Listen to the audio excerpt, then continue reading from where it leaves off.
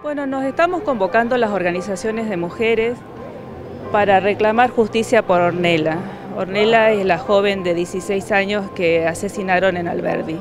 Y por ella nos estamos juntando acá en San Miguel, este, ya el jueves estuvimos en Alberdi, donde consideramos que sería la concentración principal de toda reclamo y de toda lucha y hoy desde acá estamos haciendo también el apoyo a, a familiares y amigos de Ornella. Desde el colectivo Ni Una Menos, eh, que venimos levantando las banderas de la lucha contra los femicidios, eh, hoy estamos nuevamente presentes, como estuvimos la semana pasada por Micaela García y hoy lamentablemente por una chica tucumana, eh, Ornella Dotoli, que creemos que es una nueva muestra de que los femicidios en la Argentina siguen siendo un grave problema político y social que los gobiernos no responden con las políticas de Estado que tendrían.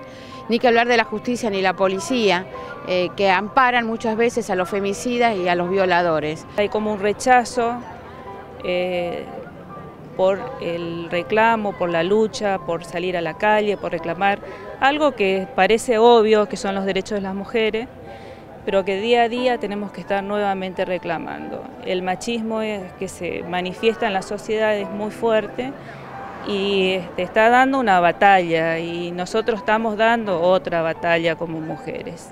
Nosotros consideramos que esa es una de las principales razones. Los mandatos son muy fuertes y no, no pueden permitir que las mujeres avancemos y tengamos los derechos que nos corresponden.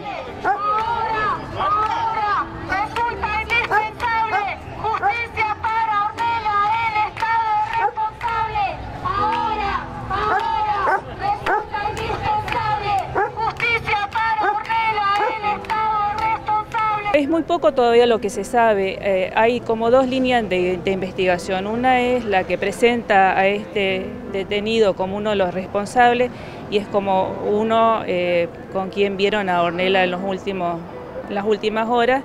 Y hay otra línea que creo que es la que maneja más la familia, que es que hay eh, policías involucrados.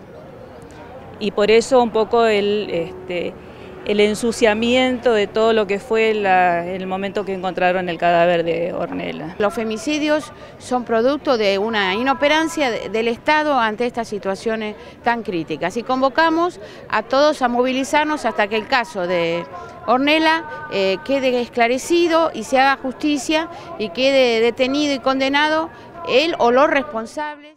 Ahora, ahora resulta indispensable justicia para Ornella, el Estado responsable. Ahora, ahora resulta indispensable justicia para Ornella, el